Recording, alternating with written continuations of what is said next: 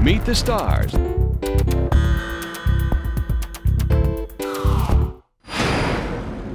A creature has been awakened that has lain dormant for millions of years.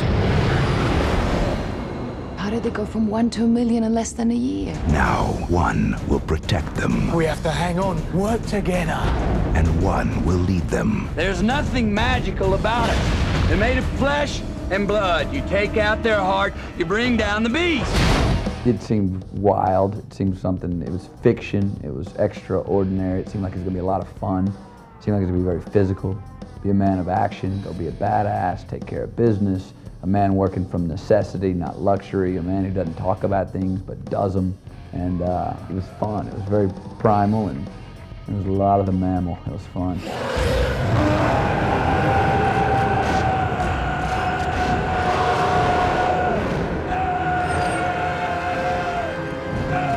There was just really great potential. It could have gone hideously wrong, like any movie could, but I always felt that this one could go even more hideously wrong than most when you're dealing with, you know, dragons. But after speaking with Rob, he just really nailed how it would work.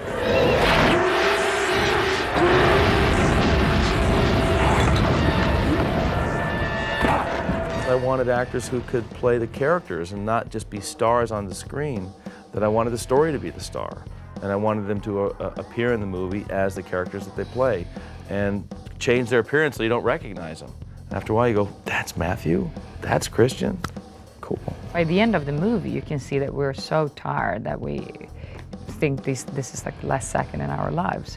And, uh, and, and I think without that, it would have been absolutely impossible. It's not believable to, to shoot a movie and to have a story like this and have characters that look pretty and, and made up. And, you know, where would she find a, a, a mascara or a pen or whatever? Come on, guys, we're outnumbered hundreds to three.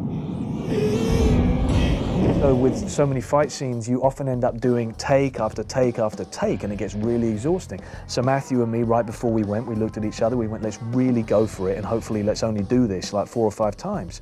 As it turned out, we ended up only doing that particular shot once because we went charging down this hill. We rolled down. We were hitting boulders and rocks. I got all sorts of bruises and cuts up my back. We stood up, and bang! He just nailed me with his headbutt.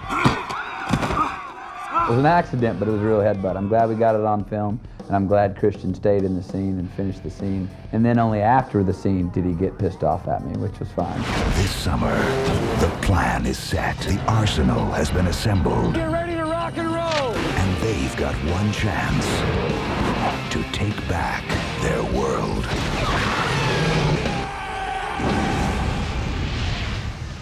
Reign of Fire.